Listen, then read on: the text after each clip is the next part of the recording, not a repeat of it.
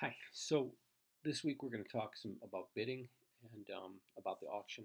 Um, and I've sent along a little kind of philosophy sheet almost, just a discussion about how uh, bidding is very dynamic. It's uh, I, I, call it uh, um, caveman. We talk in caveman when we're bidding. We only make like 26 or so grunts, and uh, I mean there's not a whole lot that we do. We don't say we don't have all these words that we can use. So we have to understand the context. And maybe that's just how cavemen did it too. I don't know, but but um, the idea is that uh, each bid carries a meaning besides what we've memorized it to mean. I mean, we know that we open a 13 point hand with five spades. We open one spade. You know, and that's sort of a memorized thing, but we don't really think much about what that actually means. Um, and and as each bid happens, we actually can develop a very complex idea of what each what the partnership has. Each hand is also each bid is also dynamic. It's either forcing or non-forcing. Um, it can it can ask you to take an action. It can command you to take an action.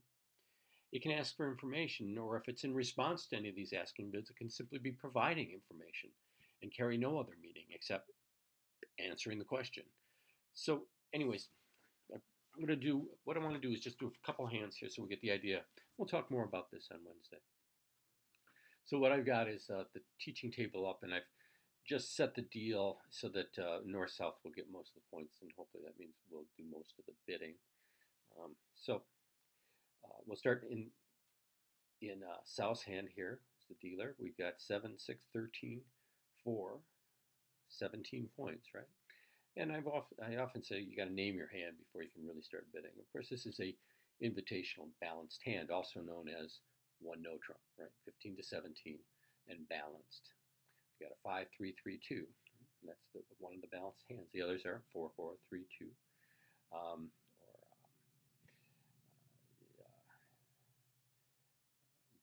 uh, uh, balanced. You know what I'm talking about. Uh, we don't have we don't have a six card suit. We don't have a couple doubletons. We don't have a stiff. This is a balanced hand, and we open it one no trump. So it has a special meaning. Now, the thing that one no trump does that a lot of other bids don't do is it limits the hand immediately. Okay? Hands immediately limit to 15, 17, and balanced. This is an incredibly important step for the opening hand. Um, if opening bidder can't limit his hand on his first bid, he must strive to do it on his second bid because that's the only way that responder can figure out how to place the contract or help direct the auction uh, to something that's makeable. One no trump, of course, is the classic example 15 to 17 balanced. Um, North has 5, 6, 10, 12 points. So, one thing North knows right now, and if you look at that sheet of paper and I talk about the game matrix, probably could have presented it pretty much better, but here we have an invitational hand opposite in responder's hand um, a, a, a, maximum hand, right? He's got he's got an opening hand, so we know that this this hand North knows immediately. I'm going to play this in game somewhere. I got five, six, 10, 12 points. Did I count that, Ryan? 6, 10, 12. 12 points. So, um, and my partner's got 16. We're going to be in game. Where does he want to be in game? Obviously, he wants to be in game in a major. he has six spades. Theoretically, he knows there's a spade, spade fit. He also has a void in diamonds, which is an incredibly important uh, feature. And also, he has four hearts, which means that if his partner has four hearts, uh, he could be very, very, very happy. So what he wants to do is start with some sort of bid. Now, depending on the gadgets you play, I mean, you could just, you could transfer this to spades at the two level, or you could transfer it to spades at the four level. Um, because of the void, um, I'm thinking about slam in North's hand, right? So what I'm going to do is, let's try this. I'm going to make a transfer bid. Now, right, this bid has, is a command. Right? South has, uh, that's the dynamic of this bid. It's, it's an order, partner, bid spades. And partner really has no choice to do it, although if he has 17 and four spades, there are some other responses he can make to let partner know that he's transferring into a good suit and that opener is at maximum strength. Here, though, just bids two spades. And now, North can assume there's a fit in spades because partner nine time, 99 times out of 100 will have two spades. Um, so he can then try to make a bid that will describe his hand the best way possible. And what he's going to say to partner on this one is, partner, I have a shortage in diamonds. Have a shortage in diamonds. Um, if that helps you out, and I, and I have slam interests, consider your hand and think if that's the best place for me to have shortage. And if it is, perhaps you want to give me um, some sort of sign by bidding an, a, uh, a control, bidding a first or second round control. And then I'll know that my diamond bid helped you. Um, makes your hand better because of my shortage. Now we've been practicing like losers, losing losers, right? And we know that a shortage in the dummy means that um, if partner has losers, he'll be able to ruff them. Now, of course, because it's transfer bid, we're going to actually get into a situation where North has the long hand, and we're going to be counting from there. But it still it still shows an advantage. Now, what's good, having an ace of diamonds there might be nice. Uh, from South's perspective now, having an ace of diamonds is nice. That means somebody's going to, North is void, he's going to be able to throw a loser on it.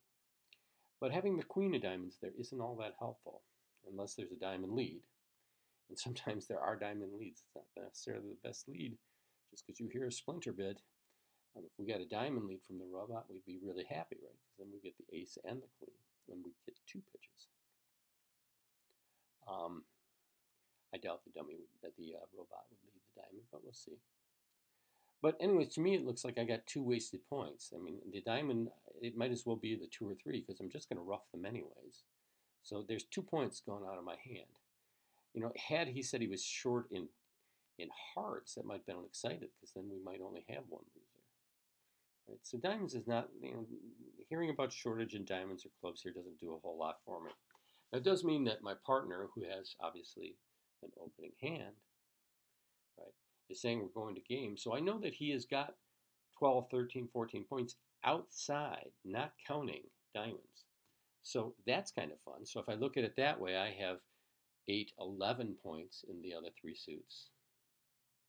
And if my partner has 13 or 14 points, uh, 12, 13, 14, 15 points, you know, we could have quite a few points. But for us to actually be making a slam here, my partner's going to need to maybe have the ace, king of hearts, um, king, queen of spades, queen of clubs. He's going to have to have a whole lot. So my interest in slam is not really high. Um, the other thing that's kind of weird is I don't really have anything to bid for. I don't have a control except, I mean, until I go to four spades. I don't have a heart control. So anyways, we're going to, you know, I can assume from his bid that he's short in diamonds, that he's got a bunch of spades, at least, you know, five or six spades, probably six spades. And uh, because he's gone to a splinter bid, so he's telling us that's the suit. And, um, and so I've gathered a lot of information. But the diamond bid, the dynamics of it are basically asking. It's given me some information, which is, you know, we've got a game, um, and I'm short in diamonds. But what it's asking me is to reevaluate my hand. In light of a shortage in diamonds, how do you feel about going to slam? And I'm gonna, I'm gonna just, I can't really bid anything. I'd have to, I'd have to bid five clubs or four no trump here without having a heart stopper. Now, can I assume that my partner has the ace or king of hearts? Really want him to have the ace of hearts, and I don't know that we can assume that. Um, I've lost the queen of diamonds unless they lead it. Um, I'm going to need, you know, we probably have some, maybe eight clubs. We have nine spades. So there's some good things, some bad things. I'm just going to bid four no trump. Okay, so basically I've taken his information, I've decided I have a wasted queen, but I've got the ace of diamonds, and uh, maybe I can still ruff two diamonds, or if I get a lucky, I get a diamond lead. Um, so I bid four no trump. Uh, my partner responds that he has two key cards, the king of spades and the ace of hearts, and he also has the queen of trump, and playing 1430, a five spade bid says just that. So now I look at my hand, I've got, know that we have the king of spades and the queen of spades. So no losers in spades. We have the ace of hearts, so one loser in hearts. I don't know what's going on clubs, and we don't have any losers in diamonds. So things are looking pretty tight. Um, if I were interested in a grand slam here, which really seems like pushing it, um, to really need him to have the king of hearts. And then, even then, if he has the king of hearts, you know, I don't know if that's going to help. So anyways, I could, though, check and see. This says, you know, I have all the key cards. I'm looking for looking for a grand slam here. Show me a king. Um, and he would he might bid six diamonds here, which I would know to mean that I'm void in diamonds. Now, does that really help me? Not really. I wanted to hear about the hearts, um, and I can't. And I can do that. I can say right here, this bid is an asking bid, and saying, "Tell me, do you have the king of hearts?" And he'll say, "No, I don't." And we'll get to six spades. And we get the spade lead. All right. So you can see that if you think through these bids, to make seven, according to the give. Looks like clubs will break, and I will pitch a couple of hearts on the clubs, and uh, and uh, get the ace of diamonds. So, so the hearts, two hearts will go on uh, when the clubs start breaking. I'll get two pitches, and uh, which will take care of the two and three hearts, and then the ace of diamonds will take care of the ten of hearts. So I have three pitches in, in the dummy, and I'll make seven. So no, no real way to get there. Point of the auction was listen to how much each bid can convey, how much, and the dynamics of it, how it pushes and pulls. Go, don't go.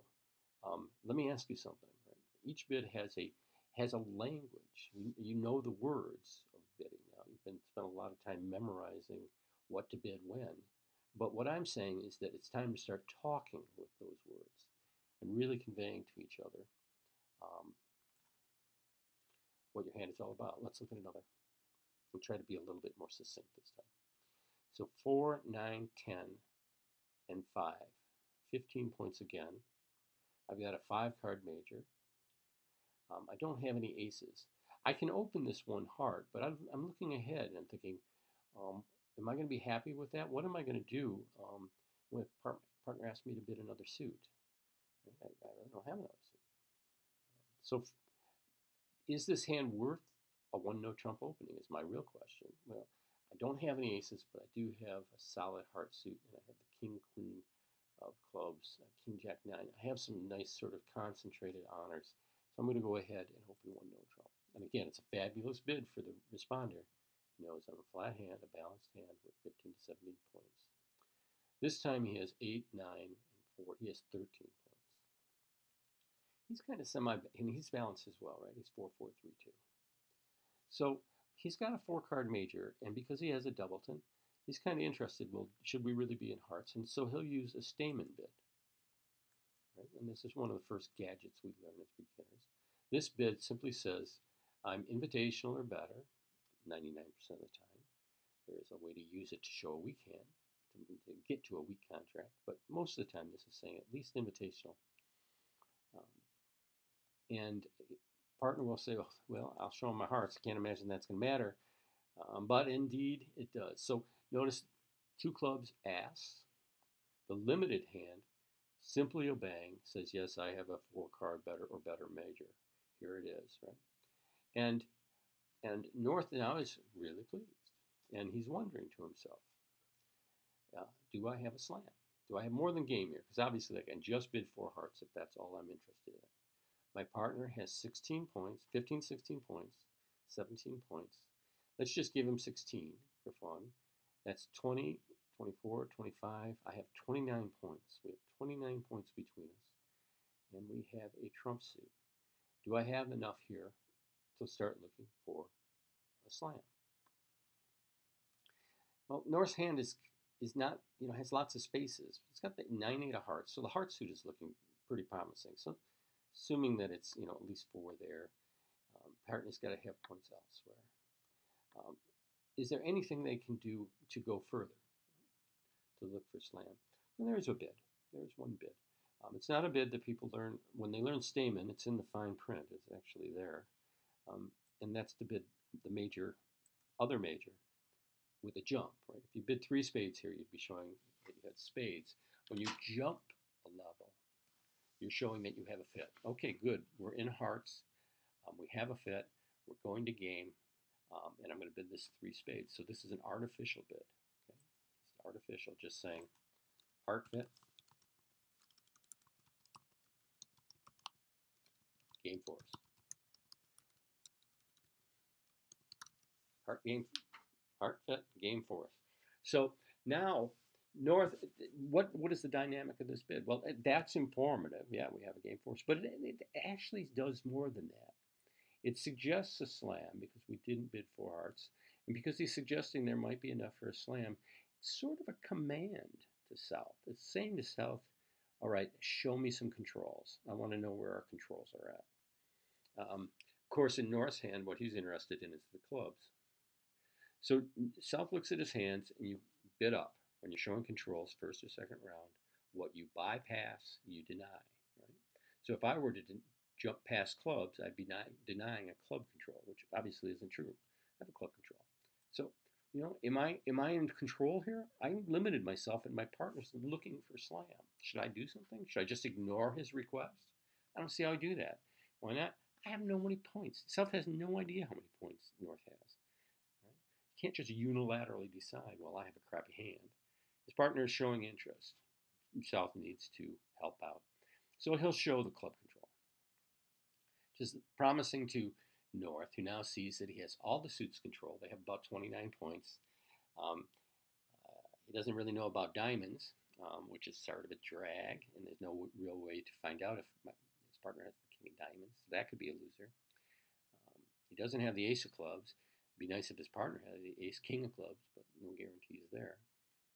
But he knows that he has one, two, sorry, he knows he has two, three controls. His partner opened 16, right? He has three aces. I should, that three, he knows he has three key cards. His partner must have some. So he might do this. Says, show, show me your key cards. In the hearts is trump, so we have the king of hearts. It's the only thing we have is the king of hearts. And we have the queen of hearts, but we only can show one key card at this point. So let's say we're playing 1430. This would be 1 or 4, 14 one or four key cards. Right now, four no trump is an asking bid. The dynamic is I'm asking you, just give me a, give me an answer. And a lot of gadgets are exactly that way. They ask or they tell. Um, if they're asking, then there's a set of responses that you must follow if you're playing some sort of gadget. So here, one or four, he he knows that he has a eight card heart fit. Doesn't know it's a nine card heart fit kind of missing some honors and hearts. Maybe he's starting to feel a little uh, little nervous because he doesn't, you know, he's, he's he's put us in a heart fit, and maybe partner doesn't have heart honors, so he's a little nervous. But he has another asking bid he can use, right? which is a queen ask, which is just one up from this response. So he asks, well, do you at least have the queen of hearts? Now, the problem with this bid is if you ask for the queen of hearts, you better be ready to play slam. Here I have the queen of hearts, but so my response is to show my next highest king. Okay? So the response is, the positive response is my next highest king, which of course would be the king of spades. You see that puts us in to slam territory. Um, and that's enough because there's, there's only an eight card fit. Um, he doesn't know about the nine card fit. So he thinks he's happy in six hearts. So um, we lose club, uh, and we lose a diamond. So we're going to have a diamond loser that we need to get rid of. Seems like that could be a problem, doesn't it? Yeah, it's down one. We got no heart losers. Um, we've got a spade loser. The ace king, but we got a spade loser. So we're going to have to get a finesse for that. So you got to, you might even go down two. Already makes. So what something good happens? Oh, we got an extra, we're going to get to pitch on a club. See it right there, how this suit is longer than this suit? So we can't lose another. And then we're going to have to take the spade finesse at some point. So we can go ahead and pull trump.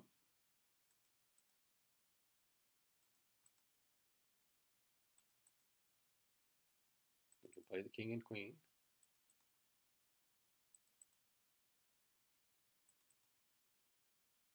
play over to the ace of spades. Now we have this good jack of clubs, in which we'll throw the queen of diamonds. Right? And so now it all comes down to um, you might go over and do this just to pull another card. Make him throw away some stuff. And then play, the, play the, you got no choice but to go for the finesse, which works. So we make. All right, one more. see if we can get a hand that is not a one no trump opener. There we go. It's not an opener though. Let's try another one.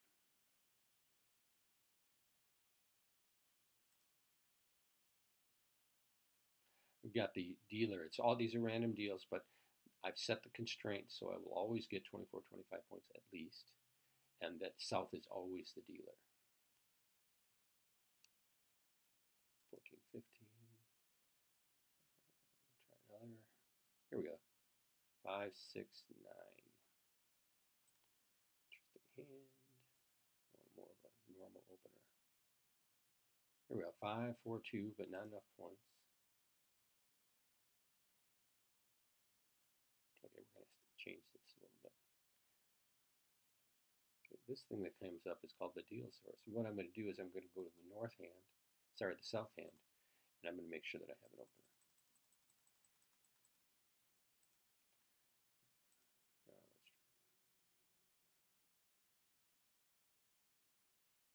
Okay, so here we have 17 points, right? and it's an unbalanced hand, a single suited unbalanced hand, right? We're 6, 3, 3, 1. Open at a club. So even an opening bid conveys a message. Here, it you know we're saying we don't probably don't have a major. We have you know 12 to 21 points or so. It, if we're either 15 or 17 or 20 to 21 and balanced, then I'm then I would not be opening one club. So there's all sorts of information already being passed with the single grunt of one club, right? Caveman talk one club. Look how much information is actually out there about that bid. Um, responder has 6, 8, 9, 10, 11 points. 11 points as a responder is generally an invitational hand, right? So he knows that there is a chance for game already you know, because a partner is at, you know, whenever there's a media, a minimum opener opposite an invitational hand, then it's a maybe hand. Maybe we got game, maybe we don't, right? But he knows game isn't is possible. He's always asking himself, game possible? Sure is. So what does he bid? Of course, he bids his hearts. So now comes the point in an auction that's critical, and I think sometimes doesn't get overlooked. The one heart is what I call the ambiguous major. It could be four hearts and five points, or it could be um, all the rest of the hearts in the deck and all the rest of the points in the deck. I mean, it's ambiguous. We have no idea. It's a totally useless bid, except for the fact we know he has four plus hearts. And if we had four hearts, that would make bidding easy. We don't have it. We don't have four spades, so that's not a bid for us. Do we want to bid one no trump? Well, no. I mean, we'd love to because we could limit our hand to 14 points that way, but we'd also be saying we're balanced, which isn't true. We're unbalanced. We're 6 3 3 1. So what we need to do is bid the clubs. And the, the club bid will limit the hand somewhat. If we jumped, we would be showing, you know, a good 15 or 16, 17 points. What, you know, so there's some advantage to limiting. But when we bid two clubs, we haven't limited our whole hand, hand a whole lot. It could be 15 points still. It could be a bad 16. We have 7, 14. We have 3, 17. So here, right? 17. So here we do want to jump, right? So we have get we bid our hand. We've announced we're we've announced we are unbalanced, single suited hand, and we've jumped to show that we have you know a good 16, 17, 18 points. We have a good hand. And a bid like this is I call it virtually forcing. Okay, it's basically saying to partner, you, you know, you already showed me five or six points, but I'm telling you, if you got eight points or so, we we got a game. So it's virtually forcing. Basically, if responder answered the first time and had more than just a mere pulse, right? if he was more than just if more than just being on life support and eking out a bid, if he had more, then he's really got to think about there being um, a, a, a game here. Now, what is North to do? right? He knows there's game, right? He's got 6, 8, 10, 11 points, and his partner's probably got 17. He knows there's like 28 points or so. He knows his partner has long clubs. So in his heart of hearts, he knows that there's, in fact, five clubs here, right? We're going to be at least five clubs. Is there something better that he can do? Well, he'd love to hear more about the hearts. Would love to hear more about the hearts. Does partner have three hearts? So, but um, bidding it again is not necessarily forcing. When you rebid a suit, it's not necessarily forcing. Um, I think if I, I would consider it forcing, uh, virtually forcing. Uh, if my partner breathes here, I'm going to game somehow. So he could bid his hearts again, saying, partner, I have extra length. Or he could just bid something that is forcing. Now, I think at one point we took one of the first priorities of an auction is we we um, we look for a major game. If we can't look for a major game, we look for a no trump game. And then if somebody puts a gun to our head, we'll bid a minor game. Right? You don't want to make 11 tricks just to get to 400 or 600 when you can make four of major or, or, or three of a no trump to get to the same points or more. So North will probably think, okay, so we have I have two clubs for him, good ones too, because I got the queen. So if we can't play in hearts, then I would really like to play in no trump, right? But I don't have a good spades. I don't have a spade stopper. So he might just make a forcing bid. What does that mean? What if he just bids three diamonds? Can North, uh, can South pass this three diamonds? Absolutely not. Absolutely not. Right? We don't, and the reason is because you can ask yourself one question as opener. How many points does my partner have? Don't know. We know he has hearts and he's made a forcing bid of diamonds. Uh, so he must have some diamonds. Um, he clearly wants me to keep bidding. He thinks there's a game. And, um, and, and uh, I don't know if we have a club fit, but he wants to know um, about the majors. Right? Basically saying, can we stop? And is it possible for us to stop in a major? I mean, to stop in a no trump game. Can we go for nine tricks instead of trying to make 11 in clubs? That my hand suddenly looks okay. You know, partner has hearts. I'm going to show him three spades. Or I could even go to three no trump. I bid the spades, leave him in control. Going to have a spade stopper. Or since I have king third and he must have some, I could just bid three no trump here. So the three diamonds is has a dynamic to it, right? Which is um, forcing you to keep bidding here, partner. Um, if you think about what we want to do, obviously we'd like to play in three no trump as opposed to five clubs. Is it still? Is, can, is that possible? Is a no trump game possible here? Um, I have some concerns about something in the majors because I didn't just go ahead and bid it, right? And since I bid hearts already, I think you can guess that my problem is spades, right? So I look at my spades. I got three. There's a chance we only have five of them together, but I got the ace, which means I should be able to hold off to the third trick. And as long as the spades aren't badly divided, we should be okay. So I bid three trump. And there we go. So that's just, I got six of them, right? So now I know that we can, can hold off probably one round I would want to hold off. And then, so I got one spade. I've got one, two, three hearts. That's four. I got three clubs. Uh, that's seven. And then I got two diamonds, right? The king, queen, king is going to always be two tricks. So there's nine tricks altogether. So what I'm going to need, now the problem is I'm going to have to lose a trick in the diamonds. Or the clubs could break. That's the other thing that could happen. If clubs are 3-2, right? I got eight of them. The clubs are 3-2. Then I don't even need to worry about the diamonds because I'll have all these club tricks. So just to be safe, though, I'll hold off one time because it won't hurt. And that just protects me against a bad spade split. Which doesn't exist here. So what I'll probably want to do is play that king of hearts. That's called unblocking unblock that so that when I come over here to the clubs, oh wait, the prob yeah, yeah, I'll do it this way. Gotta come over this way. They really need them to break here. So otherwise I'm going to have to give up the lead. Come on, Mr. Robot.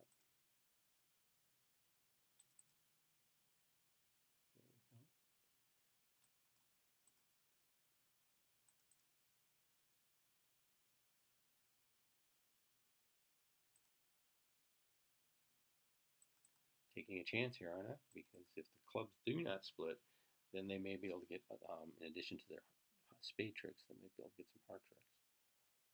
But now I'm just going to cross back over and hope they break. And I get lucky. Then I get all the club tricks, I, and I have to get up two tricks at the end. So, claim three club tricks. So, anyways, that's enough. You see the point, though, that when we're, if you, the bidding can be, is is is a language. Um, it's, it's, in that one book that I mentioned in the notes in in uh, Kit Woolsey's book. He calls it Bringlish, you know, bridge in English, um, Bringlish, um, because in using these caveman grunts, you know, we need to have a conversation like civilized people, a polite conversation where I'm giving information and asking for information, where I'm telling you to bid more, or I'm telling you exactly what to bid, or I'm listening to you and you're saying bid this, and I follow them, do exactly what you tell me. I'm always thinking about two questions all the time. Is game possible? Because when game's not possible, you really want to get out as cheap as you can. Is game possible? And to get and to understand whether game is possible, you have to know whether your partner has limited their hand. How many points have they shown? Right? And then if you think, oh, well, they're unlimited. Well, if they're unlimited, game is always possible. So an unlimited bid, the dynamic of it is, is it's always forcing. So, anyways, I'll send this along with the notes. Sorry it took, I was, it's Monday and I just got carried away this weekend and never got it taken care of. But I'll send this and the notes for Wednesday now, and I'll see you in class.